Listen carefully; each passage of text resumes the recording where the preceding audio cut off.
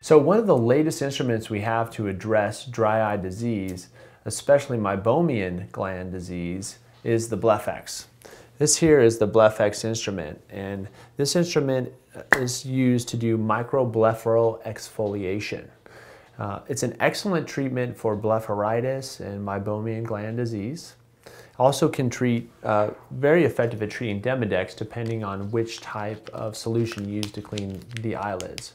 The instrumentation basically works by installing a small medical grade sponge onto the instrumentation, which rotates at a very high revolution. It goes in a forward and backward mode. And it's calibrated so when you put pressure on the patient's eyelid, it prevents it from putting too much pressure, which could cause damage to the lid. But what it's doing is removing the biofilms that are formed by the bacteria, the normal flora bacteria, the Staph aureus or Staph epidermidis, and helping to quench that in the food source so that the bacteria do not continue to cause inflammation in the eye and dry eye disease. The instrumentation comes with a lot of very good props. One of them is this piece of the eyelids uh, demonstrating heavy blepharitis. One of them is the this prop here demonstrating the eyelids and showing a normal eyelid versus someone that's heavily infested with blepharitis, uh, clogged and inspissated meibomian glands on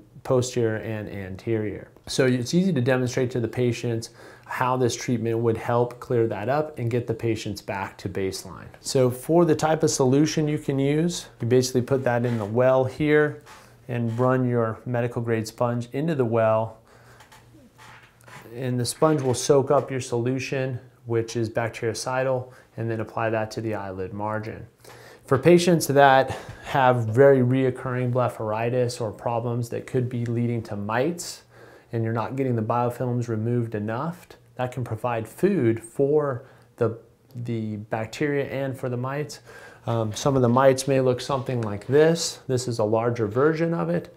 Uh, and when you show this to patients, it's very educational for them and it definitely motivates them to come in and get the treatments done.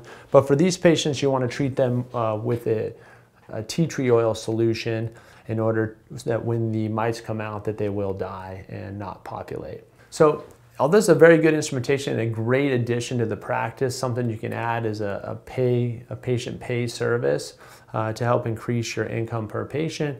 It is a little bit expensive because the, the tips here are uh, not reusable. So once you use this sponge, you're supposed to use one for each eye, you throw those out. And it's a little expensive to, to continually have to replace these, especially if you're doing a lot of procedures. Um, but I think overall, that's a small uh, disadvantage. Overall, it's a very good addition to practice and a very nice treatment uh, for blepharitis.